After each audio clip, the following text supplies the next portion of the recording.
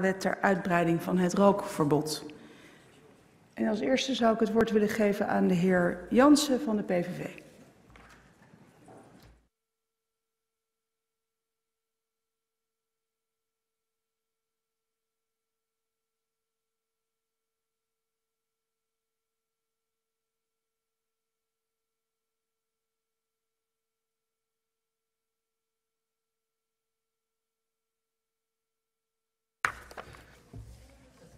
Dank u wel, voorzitter. Voorzitter, laat ik vooropstellen, de PVV is geen voorstander van roken. Wij delen de mening dat we moeten voorkomen dat jongeren beginnen met roken, zowel van de reguliere tabakssigaret als ook de e-sigaret. Wij vragen dan ook niet om de e-sigaret te promoten, maar feit is wel dat landen om ons heen een heel ander beeld hanteren, of sorry, beleid hanteren wat betreft de e-sigaret. De e-sigaret kan namelijk ook gezien worden als een middel om te stoppen met roken als een alternatief voor de veel schadelijkere tabakssigaret. In het Verenigd Koninkrijk bijvoorbeeld is een veel, een veel groter percentage rokers gestopt dan bij ons in Nederland. Wij ontkennen hiermee niet dat het beter is om in zijn geheel te stoppen met roken, maar als de e-sigaret mensen helpt om minder schadelijk te leven, is dat toch ook winst. Op dit moment wordt er aanvullend onderzoek gedaan naar de e-sigaret, onder meer naar de vraag of er bij het dampen van een e-sigaret schadelijke stoffen vrijkomen voor de omstanders. Waarom wacht de staatssecretaris dit onderzoek niet af voordat hij deze wetswijziging er doorheen drukt? Wij snappen sowieso niet waarom de staatssecretaris de e-sigaretten zo graag op dezelfde hoogte wil stellen als de traditionele, veel schadelijkere tabakssigaret. Deze wetswijziging is een uitvoering van een van de maatregelen uit zijn geliefde preventieakkoord. Het rookverbod wordt per 2020 uitgebreid voor de e-sigaret met en zonder nicotine. Het huidige rookverbod is alleen van toepassing op het roken van tabaksproducten. Met de uitbreiding willen we het roken van de bestaande en toekomstige damp- en aanverwante producten die gezondheidsschade veroorzaken, verbieden. Dit om ook de sociale norm te versterken dat roken niet normaal is en om jongeren te beschermen. Echter, deze wetswijziging behelst niet alle aanverwante producten.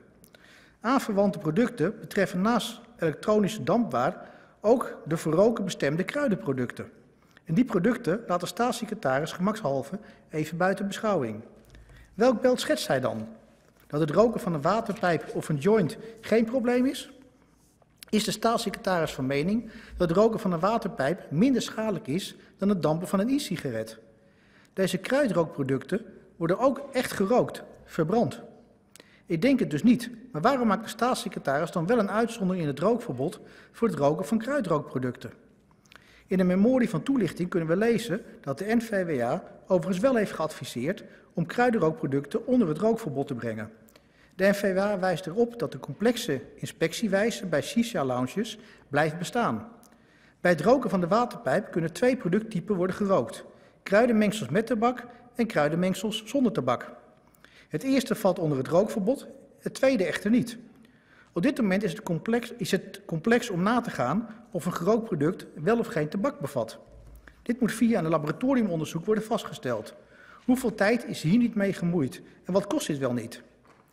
In 2018 zijn er in 60% van de uitgevoerde inspecties bij shisha-lounges maatregelen opgemaakt. 126 boetes en 13 schriftelijke waarschuwingen. In 2017 was er in 63% van de uitgevoerde inspecties bij shisha-lounges iets mis.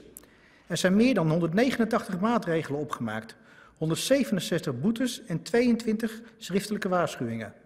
Daarnaast zijn er nog 84 inspecties uitgevoerd bij andere horecabedrijven die het roken van waterpijpen aanbieden, zoals restaurants met een Noord-Afrikaanse of Midden-Oosten keuken. Hierbij is ook bij meer dan de helft, 56% om precies te zijn, maatregelen opgelegd. 42 boetes en 5 schriftelijke waarschuwingen. Voorzitter, in 2016 en 2015 zagen we vergelijkbare cijfers.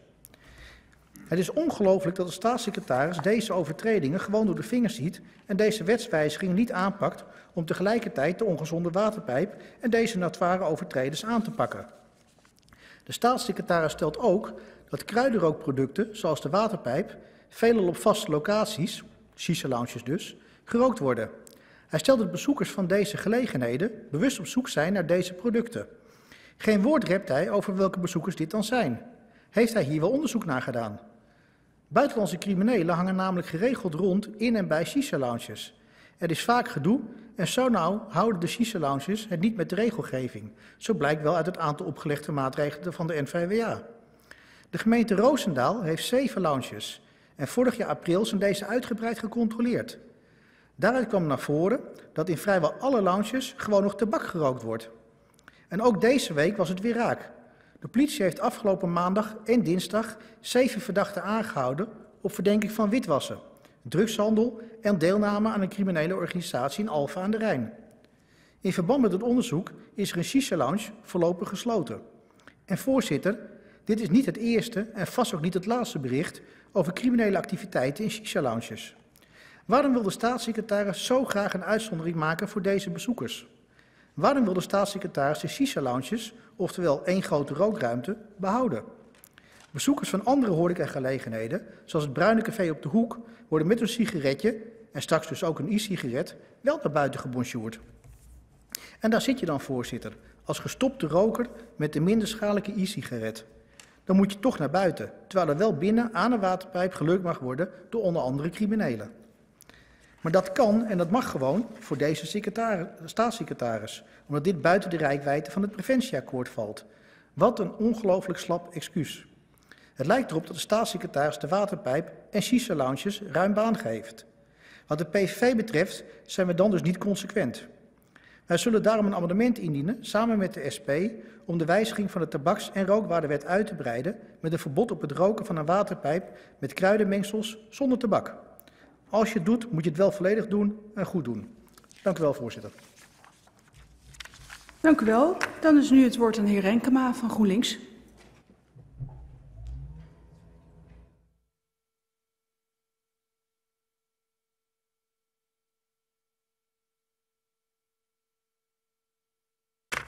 Ja, voorzitter, dank u wel. Ik wil toch eerst nog even naar de tabaksindustrie. Te lang hebben we namelijk die industrie haar gang laten gaan. Op, op, grote schaal werd er gemanipuleerd met onderzoeksresultaten. Op grote schaal werd twijfel gezaaid over gezondheidsaspecten van roken. Maar ook op grote schaal werden lobbyisten op de politieke arena afgestuurd om politici ervan, politici ervan te weerhouden het beleid aan te scherpen. En nog steeds knoeit de tabaksindustrie met laboratoriumtests die niet echt meten hoe schadelijk die sigaretten zijn. Die worden namelijk in een soort van vacuümomgeving getest op die schadelijke stoffen, maar niet op een realistische manier waarbij het filter van de sigaret daadwerkelijk wordt ingedrukt. De Schummel-sigaretten heet deze discussie. En al die inspanningen van deze industrie die waren niet voor niets. Momenteel rookt nog steeds bijna 1 op de 5 volwassenen in Nederland. Jaarlijks sterven 20.000 Nederlanders aan de gevolgen van roken. En er is een rechtstreeks kausaal verband tussen jong beginnen met roken, verslaafd raken, longkanker krijgen en sterven op te jonge leeftijd. En de Amerikaanse historicus Louis Kyriakoudes deed onderzoek naar de tabaksindustrie. En hij becijferde dat in de 20e eeuw ongeveer 100 miljoen mensen wereldwijd stierven aan tabaksgebruik. Als dat cijfer klopt, dan is dat meer dan in die eeuw stierven in oorlogen en in gewelddadige conflicten. En afgelopen zaterdag zei de vertrekkend voorzitter van de Gezondheidsraad, Pim van Gool, heel minder diplomatiek dan ik hem wel vaker heb gehoord. Hij was duidelijk uh, in, zijn, uh, in, in zijn uitdrukkingen hierover. Hij zegt, elke dag beginnen kinderen met roken en eigenlijk gaan 35 van hen later overlijden aan roken. Dat is een schoolklas per dag. En hij zegt vervolgens, als een terrorist dagelijks een klas met kinderen zou doodschieten, dan zou de overheid ingrijpen.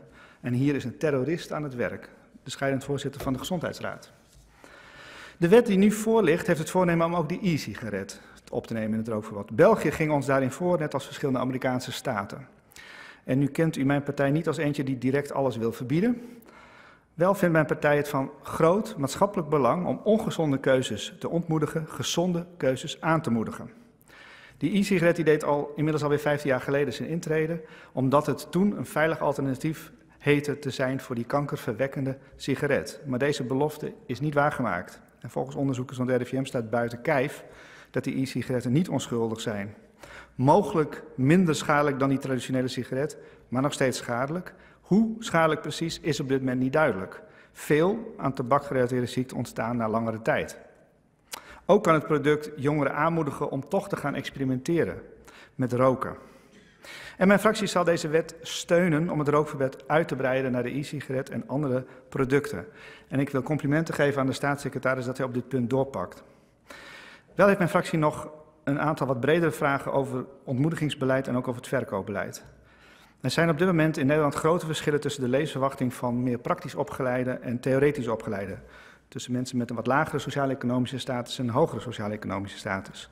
En de WER zei twee jaar geleden al dat we moeten kijken naar beleid wat zich richt op specifieke groepen in plaats van een heel generiek ontmoedigingsbeleid voor iedereen.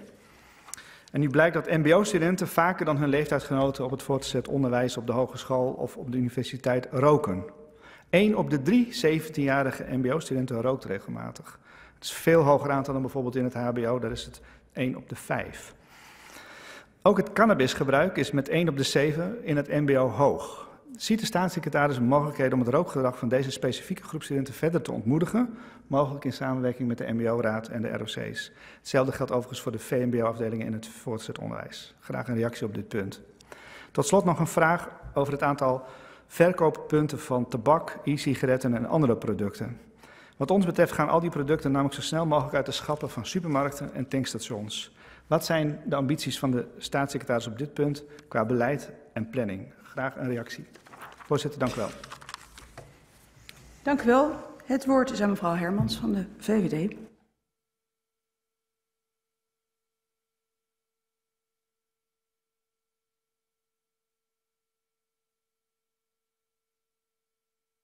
Voorzitter, jaarlijks doen zo'n miljoen mensen een poging om te stoppen met roken. En mijn voorlichter um, is één van die miljoen dit jaar. En uh, ik wil alleen maar tegen haar zetten, zeggen, zet hem op. En mensen en ook zij eh, stoppen met roken om een aantal redenen. Het uh, geeft je een fitter, een fijner, gezonder gevoel. De kans op enge ziektes neemt af. Het scheelt veel geld. En um, een heel belangrijk punt ook, je bent daarmee ook een voorbeeld voor jongere generaties, voor kinderen. Maar stoppen met roken is ook moeilijk.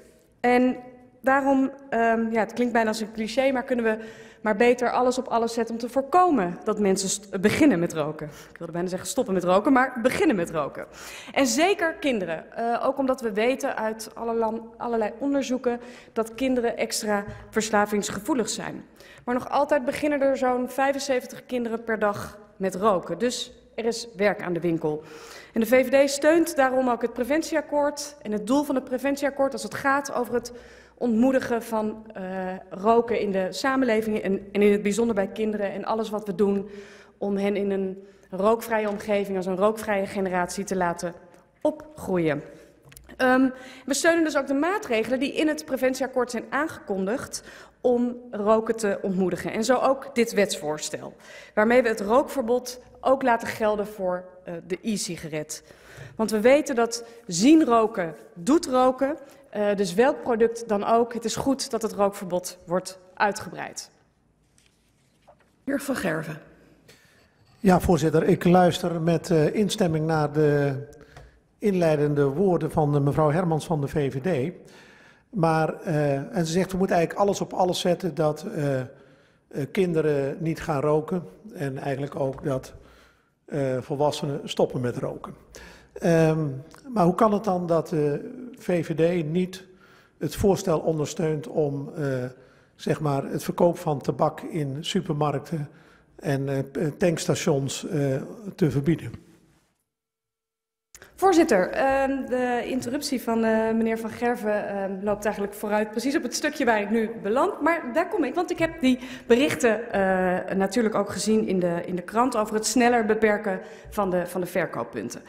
En um, wat ik vind is dat hiermee een heel aantal partijen in, in de, de, hier in de Kamer eigenlijk vooruitloopt op de afspraken die we gemaakt hebben. Um, en ik benadruk nog maar een keer, wij staan achter de doelen van het preventieakkoord en achter alle maatregelen die we hebben afgesproken in het preventieakkoord. Maar door nu, terwijl we bezig zijn met de uitvoering van dat preventieakkoord, terwijl er een heleboel partijen hard aan de slag zijn, uh, om ook die afspraak dat we het aantal verkooppunten gaan beperken, om daar invulling aan te geven, vind ik dat we door nu stappen vooruit te zetten geen recht doen aan al die inspanningen die uh, in het veld worden geleverd. De heer Van Gerven. Nou, voorzitter, uh, hoezo inspanningen? Van wie? Van de supermarkten? Van de tankstationlobby? Uh, die met alle geweld sigaretten wil blijven verkopen omdat dat een verdienmodel is? Ten koste van onze kinderen, ten koste van uh, volwassenen die uh, van het rook af willen, kopen, af willen komen en dan ook uh, liever die sigaretten niet zien. het is toch zonneklaar dat het effectief is als we het aantal verkooppunten terugdringen en dat tabak heel uit het zicht verdwijnt, ook voor onze jeugd. dat weet toch ook de VVD en dan zou het toch ook goed zijn als we gewoon doorpakken. Want die discussie hè, met de supermarkten, die hebben we ook vorig jaar gevoerd, al eerder gevoerd. En uh, ik, het, Helder. Ik, het is zeker dat zij gaan alleen maar daar met z'n allen toe over als ze daartoe uh, gedwongen worden. Mevrouw Hermans. Voorzitter, de heer Van Gerven doet alsof er niks gebeurt. En dat ben ik gewoon pertinent niet met hem, uh, hem eens. Er is al een supermarkt die een besluit heeft genomen, een drogist. De NS, onlangs, een, een, groot, uh, een, een groot besluit over uh, het stoppen met verkopen van, van tabakswaren. En kijk, ik ik zei het net ook al. Wij staan vierkant achter het preventieakkoord en alle afspraken die we daarin gemaakt hebben. Of het nou gaat over het aanpakken van problematisch alcoholgebruik, uh, gezond eten, overgewicht, maar ook de maatregelen op het gebied van roken. Maar ik roep wel even in herinnering dat we, de dat we een preventieakkoord hebben gesloten met 70 organisaties, 70 partijen, die nu allemaal op hun, uh, op hun terreinen, op de verschillende uh, onderwerpen die ik net ook noemde, aan de slag zijn. En dan is het toch niet netjes dat wij lopende dat traject al vooruitlopend op een afspraak, een afspraak die wij gemaakt hebben, en ik ga daar nu even citeren uit het preventieakkoord. Het ministerie van VWS laat onderzoek uitvoeren naar de mogelijkheden om het aantal verkooppunten in de toekomst te beperken. Aan het eind van deze kabinetsperiode is er duidelijkheid over het proces en het moment waarop een verdere vermindering van verkooppunten zal worden gerealiseerd. Dan is het toch netjes dat wij ons ook houden aan ons deel van de afspraak, namelijk eerst een onderzoek en dan kijken we verder. Heer Van Gerven. Voorzitter, het uh, parlement uh, kan gewoon een eigen afweging maken. Natuurlijk, we hebben dat akkoord gezien, maar dat is niet gesloten uh, met het parlement. Nee, dat hebben een aantal partijen gesloten zonder het parlement. Wij moesten wachten tot dat akkoord er lag en toen konden we er iets van vinden. Maar laat ik dan tot slot de volgende vraag stellen. Wanneer, hoe lang mag het nog duren dat supermarkten tabak verkopen? Want ik neem aan dat toch ook de VVD vindt dat eigenlijk supermarkten geen tabak zouden moeten verkopen. Voorzitter, supermarkten uh, zetten volgens mij al, al een belangrijke stap. Hebben we weliswaar de wet opgenomen, geef ik er direct bij toe, door uh, sigaretten achter, ik noem het maar even, gesloten, gesloten deuren te, te zetten. Uh, die wetgeving gaat in uh, deze zomer, maar bij mijn supermarkt uh, is, dit al, is dit al ingevoerd. Volgens mij goed en een belangrijke, belangrijke stap. Dat we verkooppunten gaan beperken, gaan verminderen, uh, staan wij ook achter. Maar het gaat mij erom dat we dat op een manier doen die, uh, die, die past, die effect gaat hebben. En dat wij ons houden aan ons deel van de afspraak waar ik me aan gecommitteerd heb toen wij het debat hier voerden denk dat het september vorig jaar was, over het preventieakkoord. En daarin staat de zin die ik net voorlas. Eerst een onderzoek en op basis van dat onderzoek kijken we verder. Gaat, nee, meneer Van Gerven, ja, nee, maar, meneer Van Gerven, dit was al drie keer geen, achter elkaar. Nee, maar voorzitter, ze geeft geen antwoord nee, op mijn concrete vraag. Meneer Eén, Van Gerven... De VVD, dat... Nee, maar vindt de VVD dat supermarkten geen tabak moeten verkopen? En wanneer vindt de VVD dat het tijd wordt om in te grijpen als ze toch tabak blijven verkopen? Meneer Van Gerven... Voorzitter, ze vindt het volgende. Um, ze vindt dat de afspraken die gemaakt zijn in het preventieakkoord de afspraken zijn die gemaakt zijn in het preventieakkoord. Ontmoedigen van roken hoort ook bij het verminderen van verkooppunten. En we hebben afgesproken dat we daar een onderzoek naar doen en vervolgens kijken welke maatregelen genomen moeten worden. Dat is wat ik namens de VVD hier verkondig en wat ik vind. Gaat u verder met uw betoog? Voorzitter, um, ik wilde eigenlijk alleen nog een vraag stellen, want mijn uh, laatste deel van het betoog uh, heb ik in de interruptie met de heer Van Gerven eigenlijk al, uh, al verteld. Ik vind het dus belangrijk dat wij ons houden aan ons deel van de afspraak. Dat is eerst een onderzoek en daarna bepalen we op basis van dat onderzoek wat en wanneer er nodig is. En mijn vraag aan de staatssecretaris is, hoe ziet dat proces daar nou er nu verder uit? Dank u wel. Dan is nu het woord aan mevrouw Kuik van het CDA.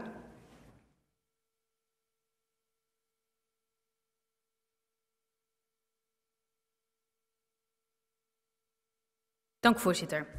De rookvrije generatie is ons doel. Jaarlijks overlijden er 20.000 mensen aan de gevolgen van roken. Roken is geen normaal product. Het is iets waar niet iedereen zomaar mee kan stoppen, omdat het verslavend is. En dit kabinet neemt daarom terecht meerdere maatregelen waarmee roken en meeroken wordt teruggedrongen. Wat ik zo sterk vind, is dat dit een brede maatschappelijke discussie is. En dat in onze samenleving volop door maatschappelijke organisaties, bedrijven, buurtverenigingen wordt meegedacht en stappen worden gezet. Mooi ook de nieuwe campagne in Groningen van de GGD en 100 organisaties. In de campagne Aarzel niet wordt de focus gelegd op wederzijds begrip en het gemeenschappelijke doel, namelijk dat je omgeving en zeker kinderen niet wil laten meeroken. En ik ken geen enkele ouder die wil dat haar of zijn kind gaat roken. Het CDA is voorstander van een breed tabaksontmoedigingsbeleid. Ook de maatregelen die we vandaag bespreken vinden we een goede stap. Onze vragen bij het wetsvoorstel zijn in de schriftelijke ronde grotendeels eh, voldoende beantwoord. Nog één korte vraag. Heeft de staatssecretaris net als het CDA het beeld dat ondanks het positieve voorbeeld van Lidl met het aantal supermarkten het niet de goede kant op gaat? Want voorzitter, als je via het AD leest dat supermarktketen Jumbo zegt niet uit zichzelf te stoppen met de verkoop van sigaretten, waarbij de topman zegt, zolang bij wet het niet verboden is, blijven we het doen.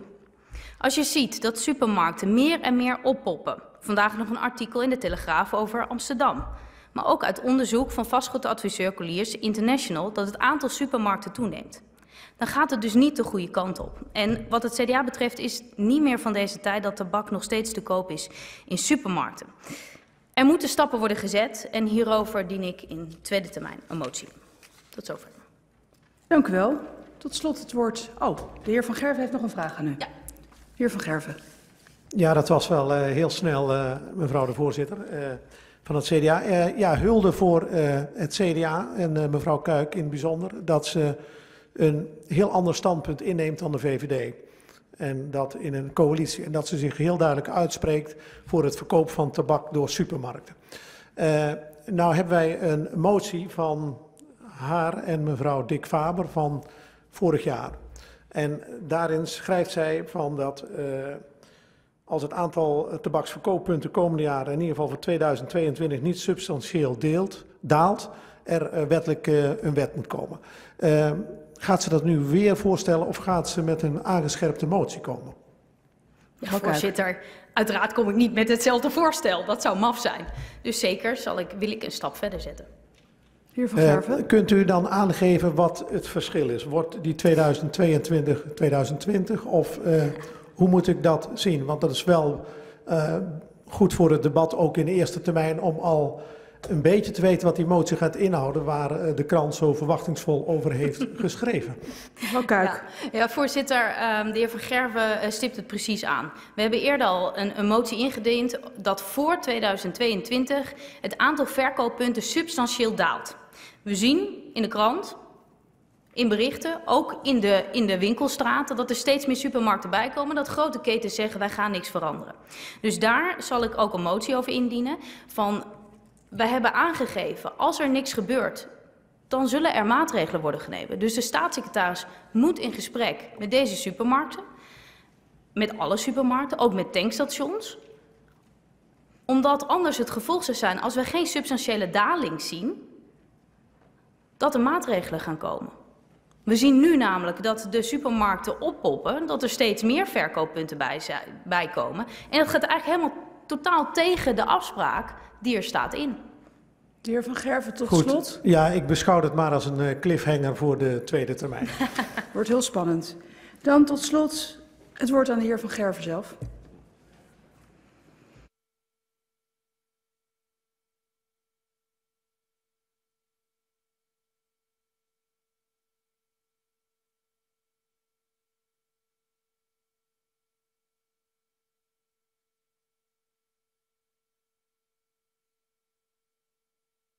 Voorzitter, uh, de SP is voor deze uitbreiding van de tabaks- en rookwarenwet.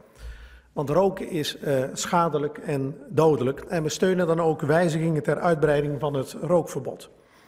En de SP is ook voorstander van initiatieven die bijdragen aan het voorkomen dat jongeren gaan roken, het ontmoedigen van roken en meeroken en het ondersteunen van stoppen bij het roken.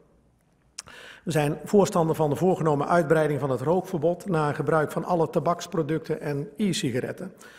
En met deze wijziging vallen allerlei tabaksproducten onder deze wet die er nu nog niet onder vallen.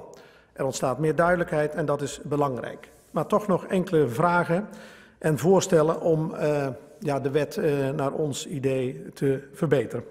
Op dit wetsvoorstel.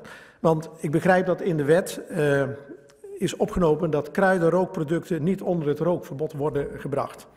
Maar het punt is echter dat uh, de Nederlandse Voedsel- en Warenautoriteit heeft aangegeven dat het eigenlijk geen goed voorstel is. En dat het veel beter is om het wel daaronder te brengen. Dat vergemakkelijkt de naleving en de controle door de inspectie. Want als een kruidenrookproduct zonder tabak wordt verbruikt, wordt het rookverbod dat via deze wet wordt geregeld dus niet overtreden.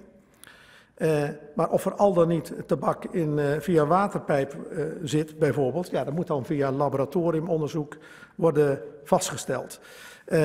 dat is ingewikkeld handhaven, want ze kunnen dat niet ter plekke constateren, neem ik aan. Nou, dan moet dat weer onderzocht worden. Dan gaan ze naar een laboratorium en dan moeten ze daarna weer terug naar die Shisha Lounge bijvoorbeeld is dat niet erg ingewikkeld. Uh, en waarom doen we zo moeilijk als het uh, veel makkelijker kan?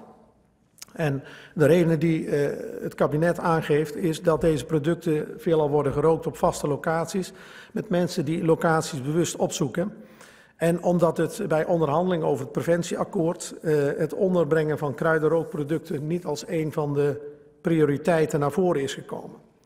Maar dat is toch niet erg overtuigend, wil ik zeggen. Ik bedoel, ook al is het niet als prioriteit gebracht, als het eh, erin, als het opgelost kan worden en vergemakkelijkt en de toezicht door de NVWA verbeterd, dan zouden we dat uh, moeten doen, volgens mij. En ik lees nog even.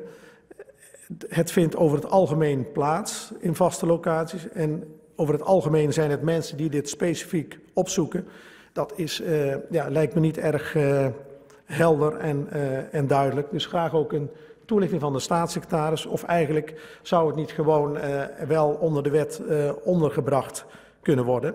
En, en hoe verhoudt zich dit met het voornemen van het ministerie om wel met wetgeving te komen die rookruimte in de hele horeca en ook in shisha lounges zal afschaffen? Want dat betekent dat in deze inrichtingen dus geen waterpijp meer met tabak mag worden gerookt. Uh, maar wel met kruidenproducten. Nou, lijkt me erg ingewikkeld allemaal. Uh, overigens ook de alliantie uh, Nederland rookvrij. waar ik had nog even gekeken of ook de gemeente Apeldoorn daaronder stond. Maar dat was niet zo, moet ik tot mijn spijt erkennen. Maar desalniettemin vond ik het een mooie alliantie die dat bepleitte. Dan nog een ander punt wat mij bevreemde. Dat is de apparaten die uh, tabak verhitten. Want die vallen ook uh, nog steeds niet onder de tabakswet als het gaat om de, het reclameverbod en de leeftijdsgrens. En daarvoor is het voor kinderen makkelijker om dit dodelijke product, die verhitte tabak, te gaan gebruiken. En als wij een rookvrije generatie willen, dan moeten we ook die verhittingsproducten onder de tabakswet brengen om een dam op te werpen tegen de poging van de tabaksindustrie om jongeren aan het roken te krijgen en verslaafden aan het roken te houden. Um, en als ik het goed heb begrepen, geldt dat ook voor de hulpstukken van, uh, die gebruikt worden, of die nodig zijn voor het uh, roken zeg maar, van een e-sigaret. Dus ik heb daarom ook een amendement gemaakt die dat ook in uh, de wet schuift. Graag ook appreciatie van de staatssecretaris en hopelijk wil hij het amendement steunen. En dan, voorzitter, naar een afronding toe. het is zo voor het carnavalsreces is het toch wel bijzonder om te moeten constateren dat de stemming zeg maar, in Nederland is veranderd.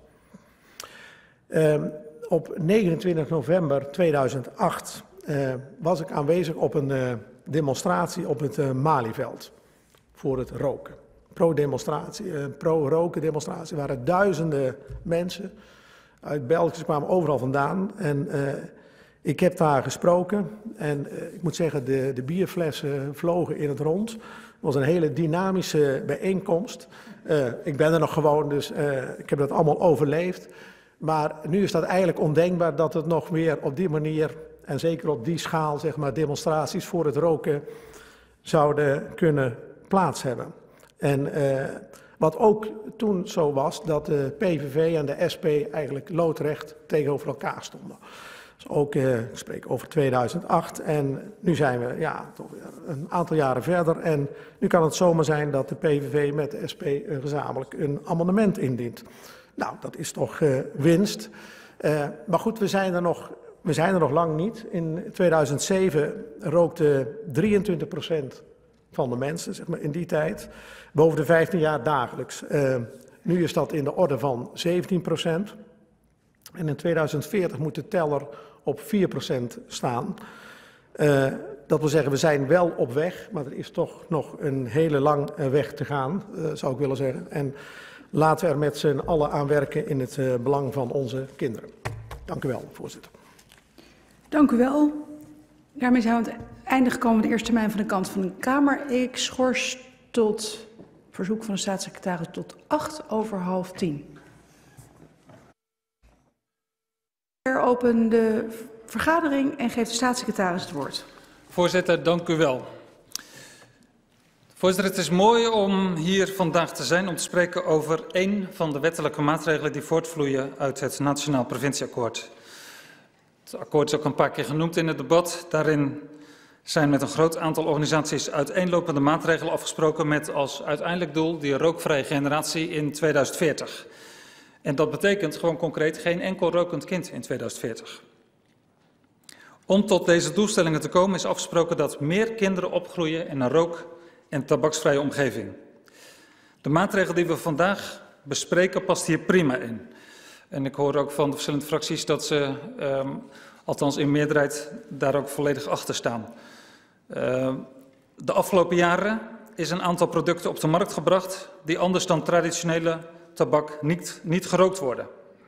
Zo zijn er producten waarbij tabak verhit wordt in plaats van verbrand. Ook zijn er steeds meer dampwaren op de markt, zoals de e-sigaret met allerlei smaakjes. Daarnaast zullen de komende jaren waarschijnlijk nieuwe producten op de markt komen die bedoeld of onbedoeld net buiten de rijkwijde zullen vallen van het rookverbod zoals we dat nu kennen.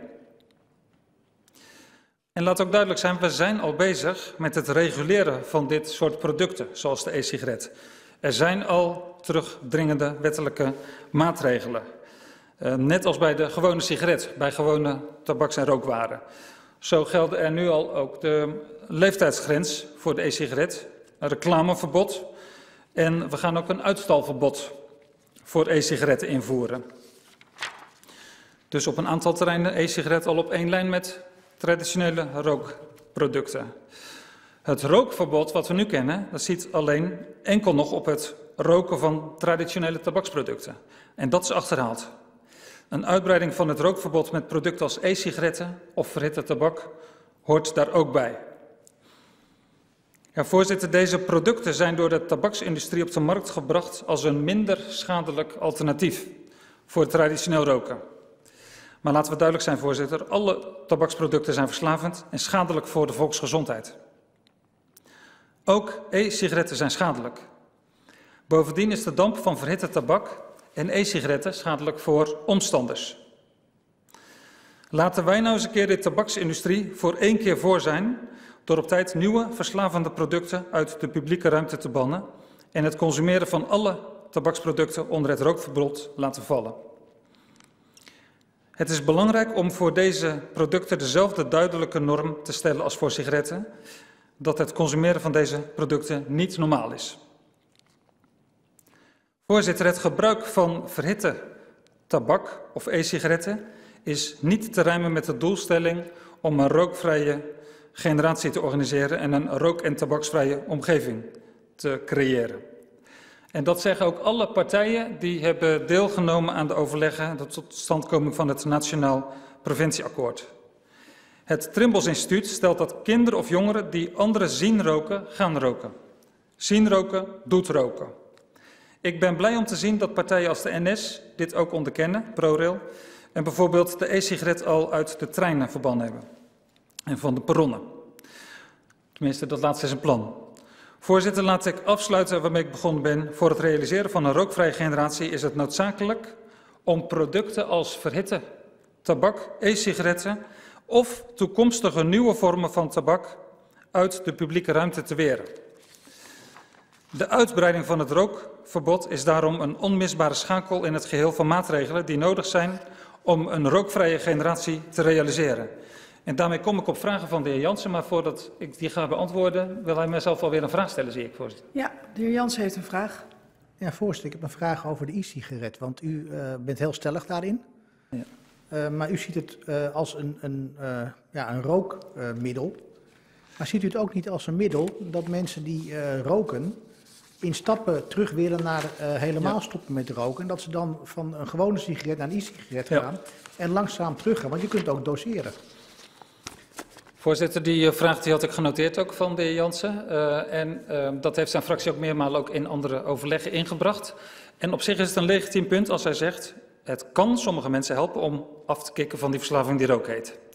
Uh, en dan verwijst hij ook naar andere landen waar dat kennelijk dan meer common sense is. Ik kan daarvan zeggen dat uh, uh, wij sowieso niet van plan zijn om het gebruik van de e-sigaret te stimuleren als middel om van roken af te komen. Wij gaan dat niet stimuleren. Dat neemt niet weg uh, dat bij verschillende afkeekmethodieken deze, de inzet van de e-sigaret wel degelijk wordt gebruikt. Dat gaan we niet afremmen. Als dat in een beproefde methode wordt ingezet, dan willen we dat niet per definitie afremmen. Maar het tabaksontmoedigingsbeleid is gericht op het stoppen met roken, gewoon over de hele linie. Dus ook van de e-sigaret en het moet niet een vervanger en een blijvende vervanger worden.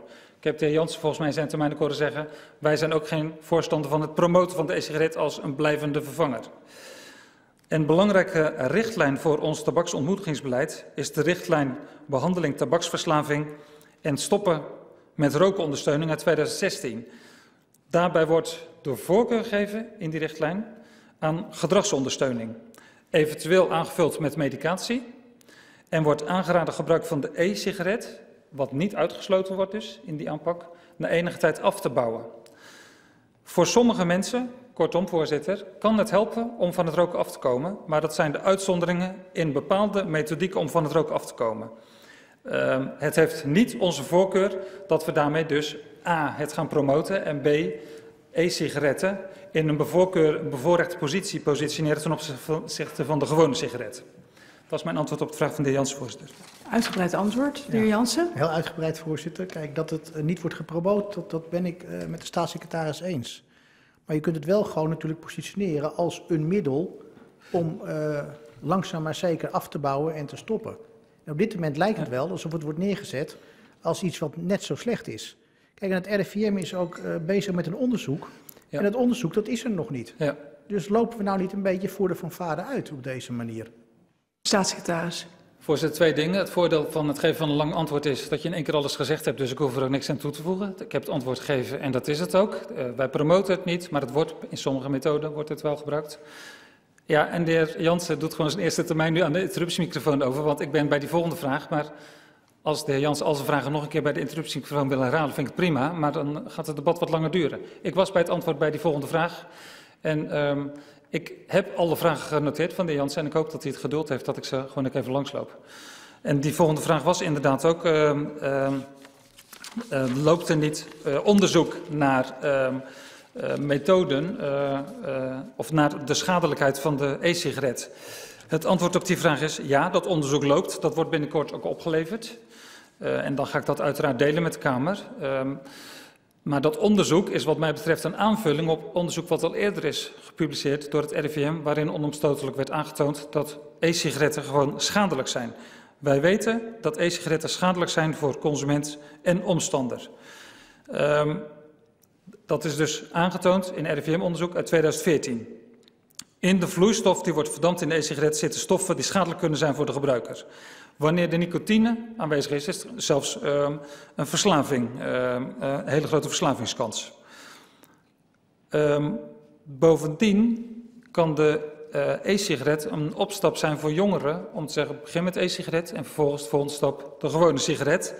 Uh, wat wij nu bij een vervolgonderzoek in beeld willen brengen is het onderzoek wat we gedaan hebben. Is dat nog actueel of zijn er nieuwe inzichten waardoor nog meer schade blijkt? Want we horen ook hele alarmerende verhalen uit bijvoorbeeld Amerika, waar een massa aan jongeren um, grijpt naar de e-sigaret en waar de tabaksindustrie gretig op inspeelt.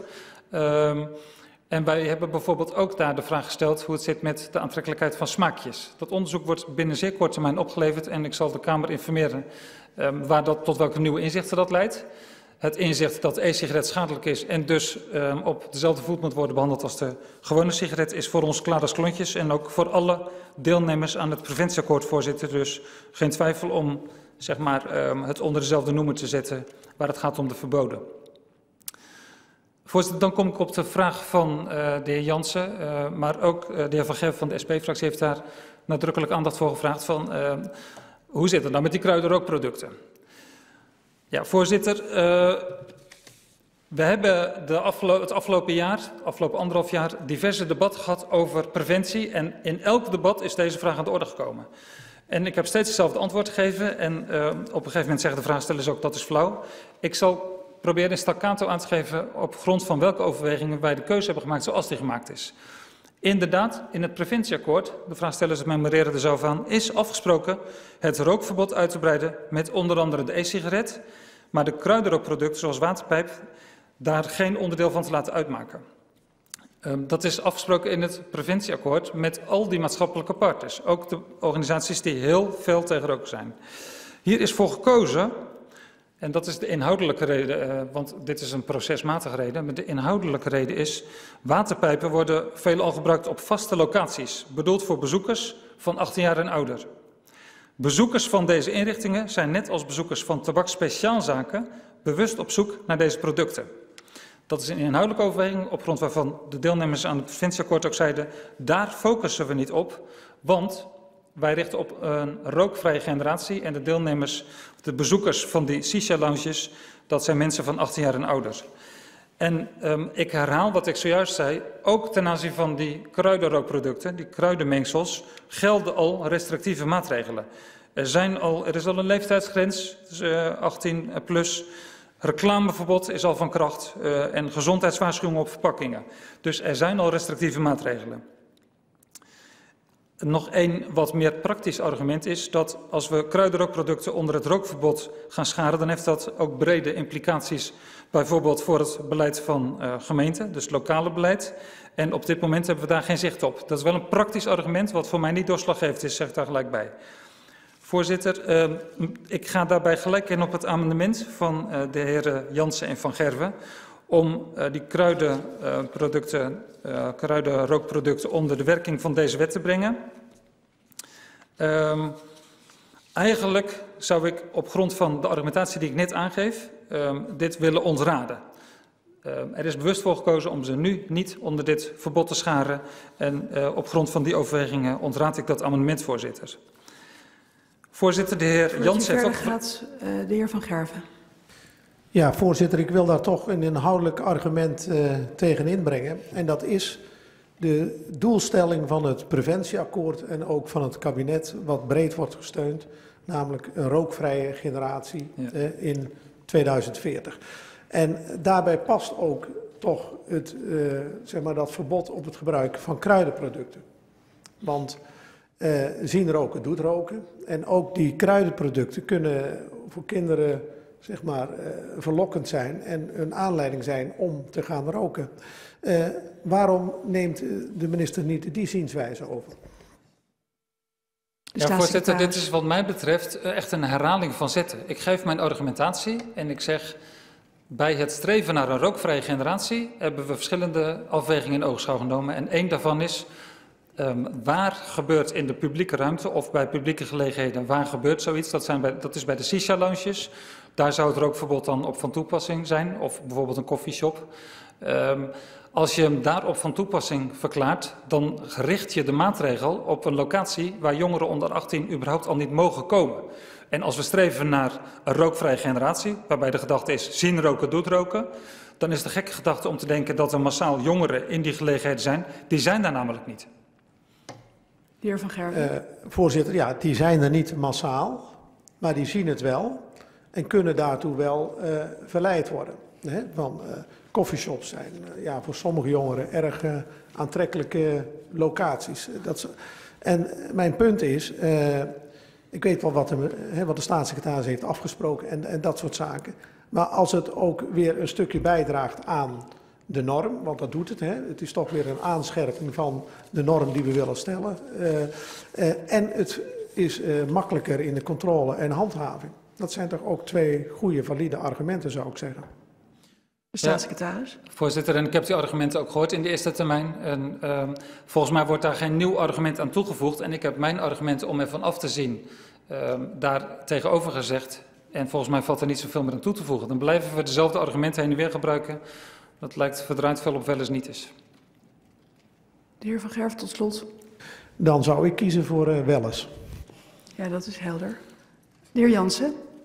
Ja, daar sluit ik me bij aan, voorzitter. Maar dat heeft ook te maken met het feit dat ik net in mijn eerste termijn uh, vier jaar voorbeelden heb genoemd van wat er allemaal aan misstanden plaatsvindt ja. in Sisa-lounges. Ja, voorzitter. Dus, dus daar ja. wordt gewoon gerookt.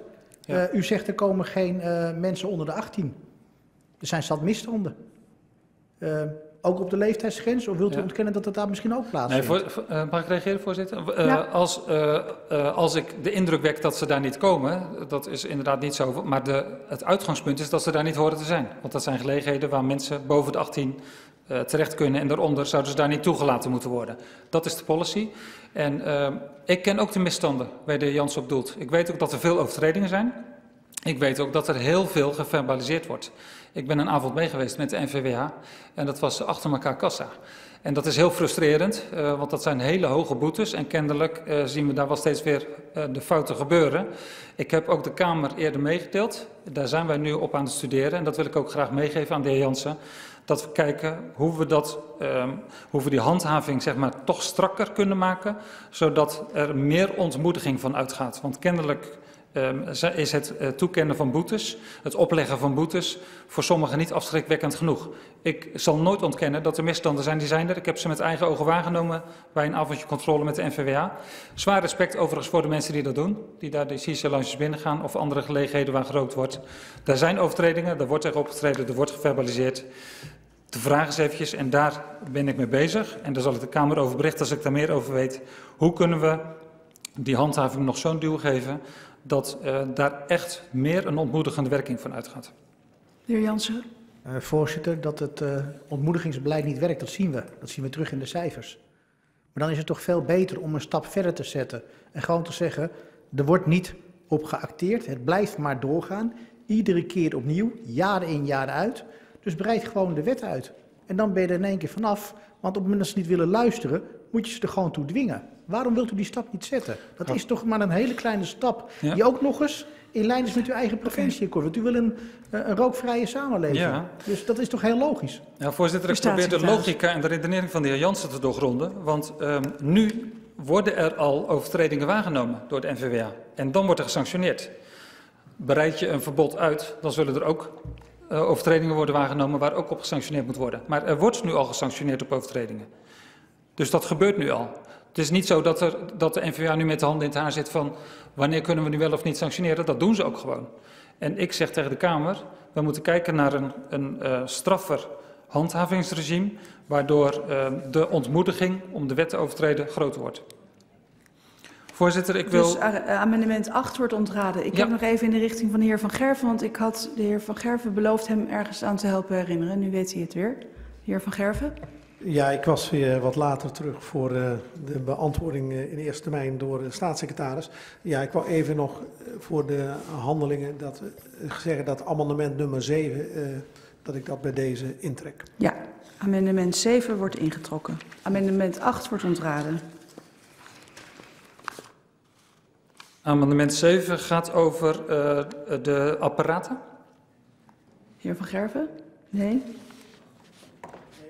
Amendement 7 gaat, is eigenlijk inhoudelijk hetzelfde als amendement oh ja. 8. Ja. Dus en, er zijn, nu nog twee, is amendement er zijn nog twee amendementen, 8 en 9. Ja. ja. ja. Oké. Okay. De staatssecretaris.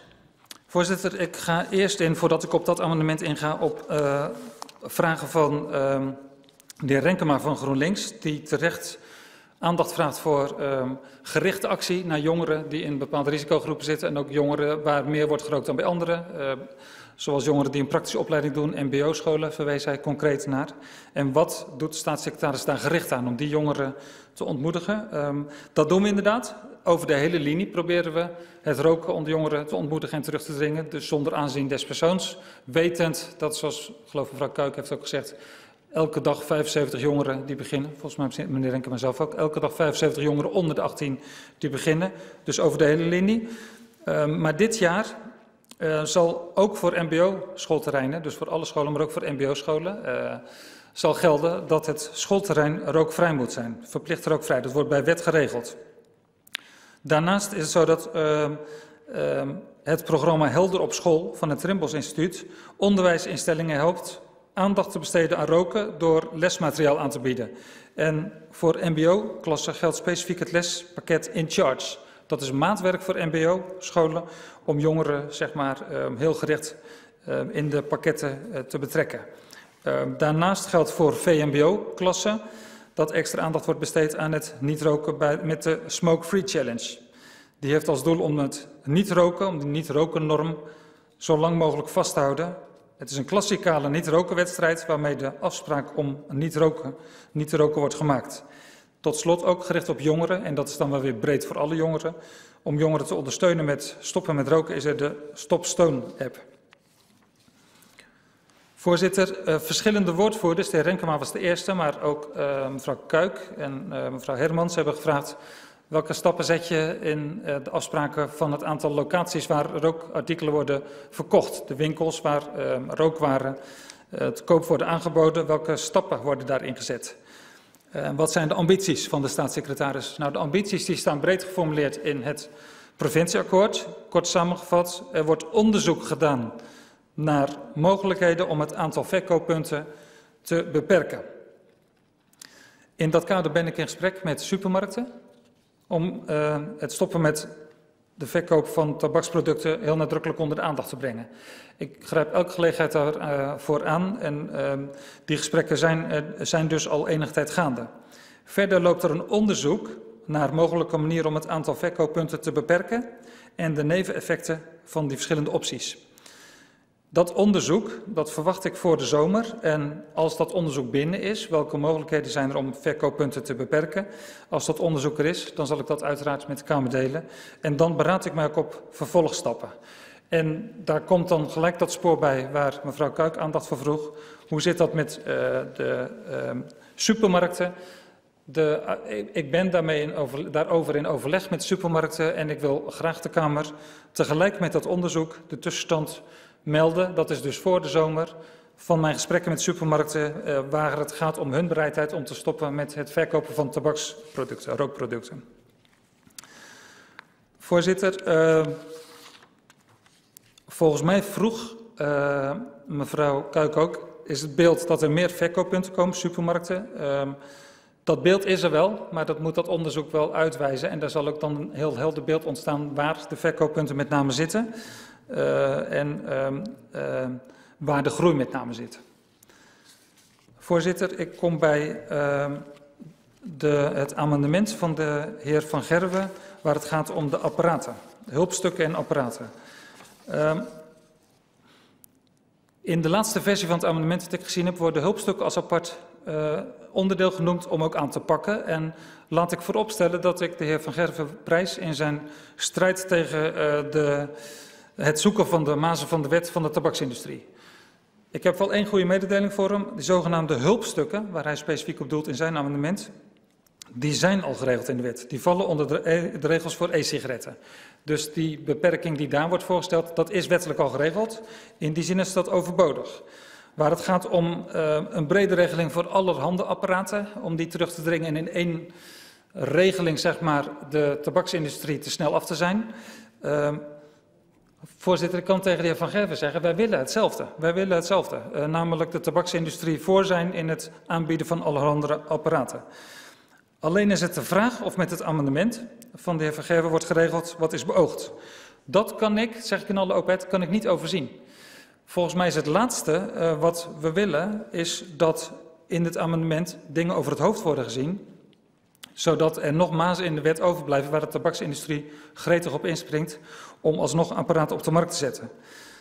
Ik kan daaraan toevoegen, op dit moment heb ik wetgeving in voorbereiding waarmee regels gesteld kunnen worden aan verhittingsapparaten die gebruikt kunnen worden voor het verhitten van tabak en tabaksproducten. Dus wat de heer Van Gerwen hier probeert in een amendement, daar bereid ik wetgeving bij voor en ik zie hoe ingewikkeld dat is. Het is bijvoorbeeld uh, op dit moment uh, mijn plannen daarvoor, die ik overigens heb aangekondigd al in een brief in 2018. Uh, het is zo ingewikkeld dat die wetgeving ook getoetst wordt op uitvoerbaarheid en handhaafbaarheid door de NVWA. En ik zou de heer Van Gerwen een dringend beroep op hem willen doen. We willen hetzelfde, maar we willen het ook goed doen. En met dit amendement zie ik een risico dat we het niet volledig dichten. En waar ik een uitvoeringstoets uh, laat, uh, laat uh, uitvoeren door de NVWA, een handhaafbaarheidstoets, ehm, denk ik dat het niet wijs is om nu bij amendement het heel snel te regelen met het risico dat we het niet volledig dicht regelen. En dus hoe goed bedoeld ook, en we willen echt hetzelfde. Ik zou in dat licht bezien het amendement willen ontraden, voorzitter. De heer Van Gerven. Uh, voorzitter, ja, uh, goed nieuws dat we hetzelfde willen. Ja. Maar ja, dan gaat het toch, uh, hoe gaan we dat zo snel mogelijk bereiken? Want ja, ik heb natuurlijk die brief gezien van de minister, 2018, en we zitten nu in 2020, dus dat schiet niet op. En dan zou mijn voorstel zijn, weet je wat, we voeren het gewoon in die wet. En uh, als, hij, uh, als er toch een gat blijkt te zijn, ja, dan passen we hem later weer aan. Ik bedoel, dat is ook een begaanbaar pad. Is de staatssecretaris bereid om die weg uh, te bewandelen? Ja, voorzitter, in zou ik willen zeggen dat ik liever de zorgvuldige weg bewandel. En ik ben echt nu tempo aan het maken. Ik kan u een overzicht geven van alle wetgeving die in voorbereiding is, ook ANVB's, om het roken op alle manieren terug te dringen. Volgens mij zijn we daar echt, uh, zijn de heer Vergeven en ik daar echt bondgenoot in. Ik zou in één keer de goede klap willen maken en uh, dat wetsvoorstel is in vergaande, uh, ik wou zeggen staat van voorbereiding, maar dat klinkt haast als ontbinding. Maar wij zijn vergaand met de voorbereiding daarvan en ik zou het in één keer goed willen doen. Dus ik blijf bij ons raden, alsjeblieft in één keer goed doen. Heer Vergerven. Voorzitter, dan wil de staatssecretaris dan een termijn noemen? Of zou je dat kunnen, zou je kunnen zeggen, misschien voor de zomer? Is dat uh, oh, mogelijk? Nee. Dat... Nee. Um, ik denk dat ik er even op terug moet komen in de, in de tweede termijn. Ik denk dat u op zijn vroegst uh, aan het eind van dit jaar, het hangt ook af van de wandeling in de Kamer. Dit wetsvoorstel was ook eerst uh, beoogd als hamerstuk en dan waren we heel snel klaar geweest. Ik vind het ook mooi dat we er nu woorden aan geven. Uh, maar ik weet niet hoe snel die wandeling gaat en uh, ik weet niet... Kijk, ik krijg hem hier nu op een spiekbrief. Het wetsvoorstel wordt na de zomer uh, um, naar de Kamer gestuurd. En als de Kamer zegt, we geven er een klap op, dan kan dit heel snel kracht van wet zijn. De heer Van Gerven, okay, tot slot. Hij, uh, hij komt dan uh, zeg maar na de zomer naar de Kamer, ja. dus dit jaar. Ja. Dan nog een vraag over die, die hulpstukken bij de e-sigaret. Want ik had begrepen, en dat was volgens mij ook informatie vanuit het ministerie dat dat toch nog uh, nu niet uh, goed wettelijk geregeld was. Uh, wil, kan de staatssecretaris, want hij zegt het is wel al geregeld, ja. maar daar nog op ingaan. Ehm, de, de, recente informatie waar ik over beschik, voorzitter, en als het niet zo is, kom ik daar de tweede termijn op terug. Maar ik herhaal wat ik net heb gezegd. De zogenoemde hulpstukken, waarop de heer Van Gerwen doelt in zijn amendement, van e-sigaretten, die zijn al geregeld in de wet. Die vallen onder de regels voor e-sigaretten. Uh, dus we willen hetzelfde en het goede nieuws is, het, dat is geregeld. En als het anders is, dan beloof ik u daar in tweede termijn op terug te komen. Goed, dan uh, wachten we even de tweede termijn af. Ja. En uh, met betrekking tot het amendement nummer 9, dat wordt ontraden. Ja, ja dat had ik begrepen. Ja. Mevrouw Hermans. Ja, voorzitter, dank u wel. Uh, even kort, de staatssecretaris zei ergens tussen de regels door, anders kan ik nog wel eens op een rij zetten wat er allemaal aankomt ja. aan wetgeving op het gebied van roken. Nou, Um, ja, dat zou ik wel prettig vinden. Dus misschien uh, in reactie op de interruptie met de heer Van Gerven um, zou ik uh, de staatssecretaris willen vragen dat aan de Kamer te sturen. Um, ja. Dat is mooi. Dan nog even terugkomend op het, uh, de, de acties die, u, die de staatssecretaris onderneemt op het gebied van het beperken van de verkooppunten. En uh, u noemde ook al even het onderzoek, ja. uh, zoals ook afgesproken in het uh, preventieakkoord. Volgens mij dus is dat de goede, goede volgorde. maar in de berichten van vandaag en ook in de bijdrage van het CDA wordt ook al eigenlijk vooruitlopend erop gesproken over het nemen van wettelijke ja. maatregelen. Mijn vraag is eigenlijk, hoe kijkt de staatssecretaris daar tegenaan um, in het licht van de volgorde van de afspraken, van, sorry, volgorde van de acties ja. die we in de afspraken gemaakt hebben? Het ingewikkelde is dat ik nog geen motie gezien heb, dus ik ben ook benieuwd wat er in het dictum aan mij gevraagd wordt, of aan het kabinet. Uh, maar in het algemeen, de vraag die mevrouw Helmans open aan me stelt, hoe kijkt u aan tegen wetgeving, zou ik willen zeggen, wetgeving is een van de manieren waarop je het kan afdwingen.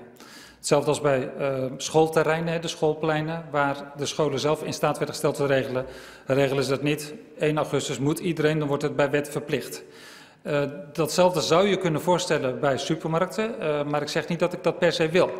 Het heeft mijn voorkeur om in gesprek te gaan met supermarkten. En het zou het mooiste zijn als supermarkten zelf, zoals we de brede beweging zien. En wat mevrouw Hemmels zelf in haar eerste termijn ook zei. De NS, ProRail, die zelf vergaande maatregelen nemen. Het zou het mooiste zijn als vanuit de samenleving zelf die uh, stappen worden gezet. Dus wat mij betreft vanaf deze plek ook nog een keer een oproep naar de supermarkten. Zet alsjeblieft die stap. Nou kan het best zo zijn dat de supermarkten naar elkaar blijven kijken. En dat ze zeggen, ja, maar ik wil een level playing field, ik wil geen concurrentievoordeel voor de ander, dus ik wacht maar tot de andere stap zet. En dat daar een padstelling ontstaat. En dat ze bij wijze van spreken wachten op wetgeving. Ik sluit niet uit dat bij wijze van spreken die vraag naar mij toe komt. Van regel het dan maar bij wet, want dan hebben we sowieso een gelijk speelveld voor alle deelnemers. Ik wil graag mevrouw Hermans beloven dat um, ik A, het gesprek voortzet met de supermarkten, dat ik een terugkoppeling geef over de stand van zaken, het perspectief wat die gesprekken opleveren voor de zomer, samen met het onderzoek naar het aantal verkooppunten. En dat ik ook bij dat perspectief schets hoe de supermarkten daarin zitten en welke optie ik logisch waarschijnlijk vind vanuit het kabinet om eventueel als extra stap te zetten willen de supermarkten zelf geen beweging maken. Ik zeg daar ook voor alle duidelijkheid bij, wetgeving is voor mij uh, niet de enige oplossing. Mevrouw Hermans. Ja, voorzitter, um, deze, deze volgorde uh, klinkt mij uh, logisch in de oren. We doen eerst het onderzoek en ja. dan kijken we verder of en wat er, wat er nodig is. Um, en um, ik ben blij te horen dat de staatssecretaris hiermee ook aangeeft... we, we moeten ook oog hebben, en recht, uh, oog hebben voor en recht doen aan de dingen die gebeuren... en de stappen die ook uh, partijen zelf zetten. Nou, NS ProRail, uh, ik noem hem nog maar voor een uh, laatste keer vanavond, is daar een goed voorbeeld van. Ja. en het is ook niet zo dat er op, op andere plekken verder niks gebeurt. En ik vind dat we dat ook moeten, moeten blijven benoemen. Maar misschien, uh, voorzitter, want we zijn het vergaand eens, misschien helemaal eens.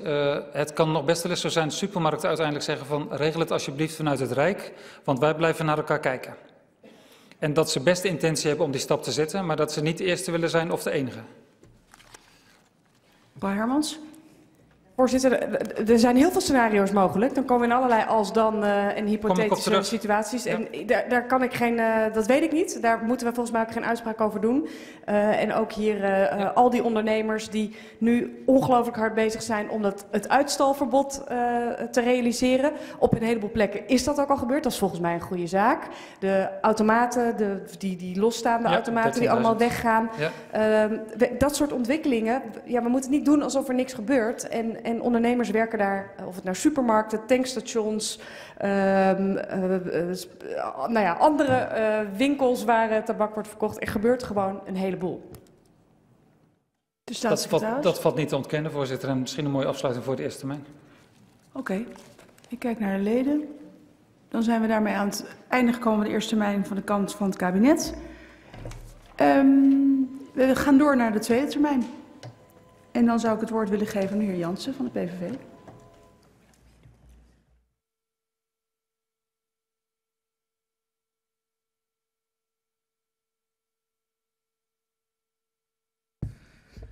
Dank u, voorzitter. Wat wij zo tegenstrijdig vinden aan dit verhaal is dat de staatssecretaris zegt: Ik wil op weg naar een rookvrije samenleving. Hij wil consequent zijn in de stappen die hij zet.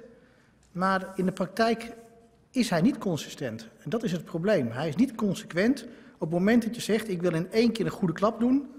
mijn kruidenmengsel zonder tabak in de waterpijp... laat ik nog even doorlopen.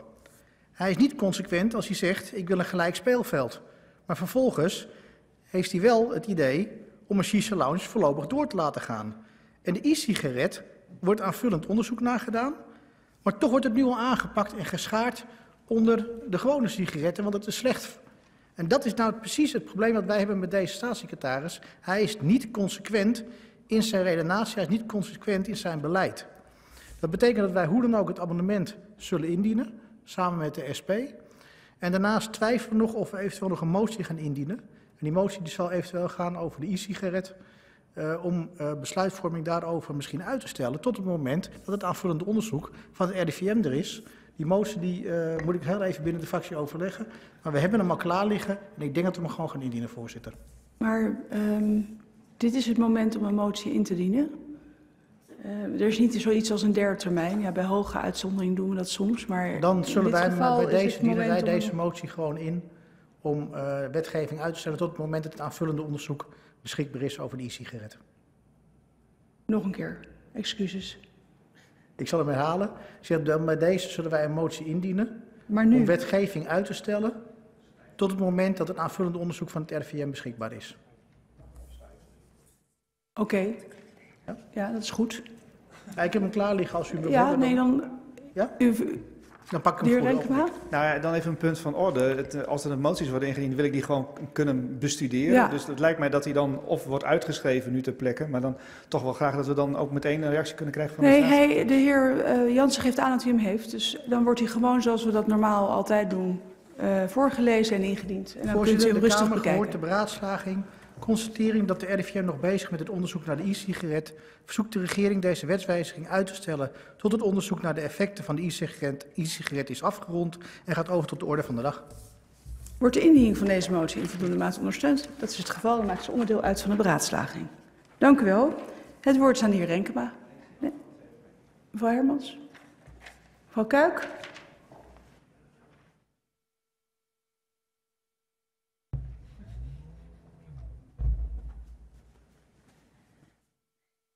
Ja, voorzitter. Om tot een rookvrije generatie te komen moeten we maatregelen nemen. En een van die maatregelen is ook het verminderen van het aantal verkooppunten omdat heel duidelijk is, uh, in ieder geval van een groot aantal uh, supermarktketens, dat ze niet uit eigen beweging stoppen en dat er ook steeds meer supermarkten oppoppen, dien ik de volgende motie in. De Kamer gehoord de beraadslaging constateren dat in het preventieakkoord is afgesproken dat het aantal verkooppunten voor tabaksproducten wordt teruggebracht. Overwegende dat de Kamer met de aangenomen motie Kuik en Dick Faber reeds heeft uitgesproken dat als het aantal uh, tabaksverkooppunten voor 2022 niet substantieel daalt, wettelijke maatregelen moeten worden genomen met als doel dat tabaksproducten alleen nog maar in speciaalzaken te koop zullen zijn. Verzoekt de regering met ketens van supermarkten en benzinestations in gesprek te gaan met als doel om te komen tot een snelle afbouw van de verkoop van tabaksproducten. Verzoekt de regering tevens deze winkels ervan op de hoogte te brengen dat zij hier zo nodig wettelijk toe verplicht zullen worden. En gaat over tot de orde van de dag, mede ingediend door mevrouw Dick Faber. Wordt de indiening van deze motie in voldoende mate ondersteund? Dat is het geval, dan maakt ze onderdeel uit van de beraadslaging. Tot slot, oh, de heer Van Gerven heeft nog een vraag aan u. Heer Van Gerven. Ja, voorzitter, ja, eigenlijk meer een constatering, want ja, eigenlijk is de motie exact uh, hetzelfde als die van uh, 3 nee, september hoor. 2019. En uh, ja, mevrouw, of het CDA kan wel zeggen dat het niet zo is, maar kijk, als je het dictum leest, dan daar staat gewoon van ja, als het niet daalt voor 2022, ja, dan moeten er wettelijke maatregelen worden genomen. Uh, zodat ze alleen nog maar in speciaalzaken te koop zijn. Nou, dat wordt nu ook uh, gesteld op eenzelfde manier. Dus, uh, maar dank in ieder geval voor de consistentie van het betoog. Ja, voorzitter. Ik zal toch even uitleggen wat hier de extra stap is. Um, de eerste motie was een spreekt uit. Hè? Dan spreekt uit namens de Kamer. Uh, nu verzoeken we de regering in gesprek te gaan en ook de staatssecretaris op pad te sturen met een stok achter de deur, omdat we dus zien dat er een aantal supermarkten heel duidelijk ook naar buiten toe zeggen, ja, maar ja, als er, als er geen wetgeving komt, dan gaan wij in ieder geval niks doen en blijven wij verkopen, tabaksproducten verkopen. En met deze motie geven we ook de staatssecretaris een uitspraak van de Kamer mee en een stok achter de deur om echt hier beweging in te gaan creëren. De heer Van Gerven. Nou ja, voorzitter, uh, als de Kamer uitspreekt uh, dat iets moet gebeuren, ja, dan gaan we ervan uit dat uh, het kabinet dat ook gaat doen. maar goed, ja. Het ja, verschil tussen spreekt ja, uit en roept op. Hè? Nou, zoiets, ja. Goed, okay. maar we zijn het eens. Meneer Van Gerven, ik kijk naar u. Heeft u nog behoefte aan een tweede termijn? Dat is geloof ik het geval. Ja, de heer Van Gerven.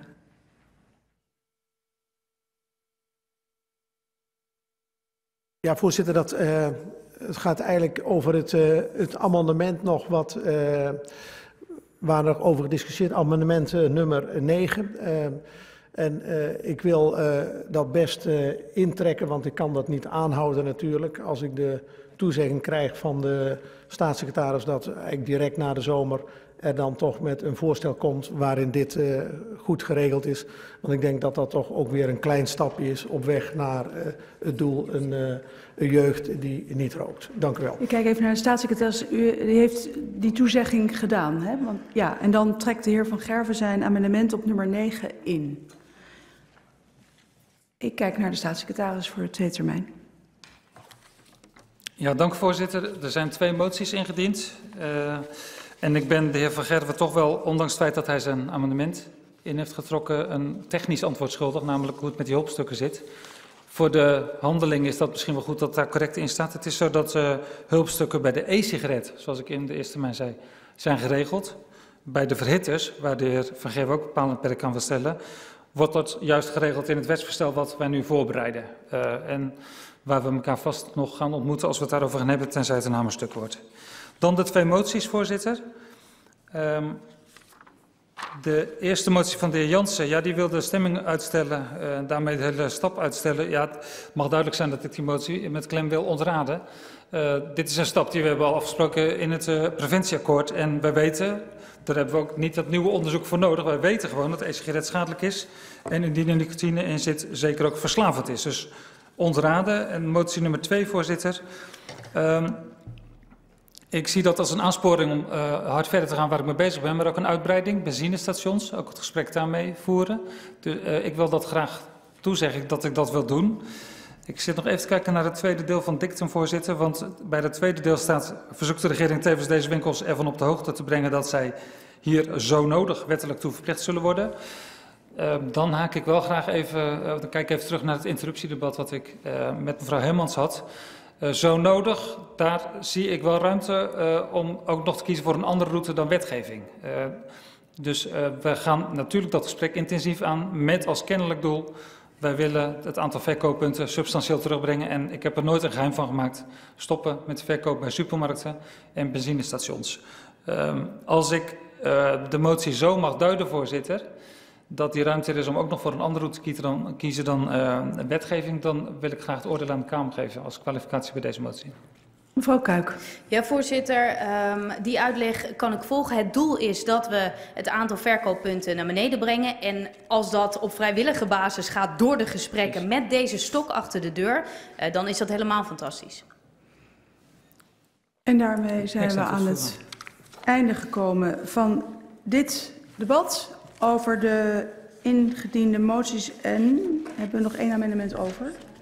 Um, zal worden gestemd op 3 maart na het krokusreces. Ik dank de staatssecretaris voor zijn komst naar de Kamer en wens iedereen een goede week toe. Ik sluit de vergadering.